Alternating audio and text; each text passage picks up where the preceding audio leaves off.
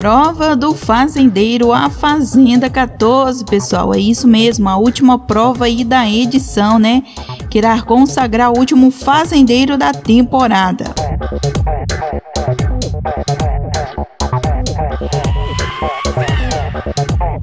Agora na manhã de hoje, pessoal, durante o trato aí com os animais, a Bia Miranda fez um carinho e acabou se despedindo do bezerro durante o trato com o animal.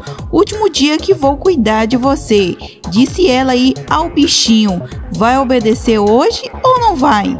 Assim disse a Bia mais uma vez aí. Lembrando que a Bia está na 12 roça de A Fazenda 14. A Bia também fazia o trato da vaca com moranguinho quando, ao, quando o toque das ovelhas soou.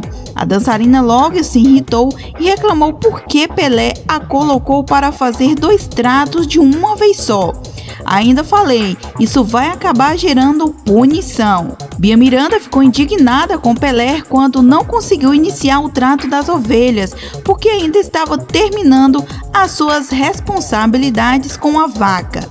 Na manhã de hoje, de quarta-feira, dia 7, a POA não conseguiu atender o chamado das ovelhas e depois de três toques, a sete inteira acabou tomando punição daquelas.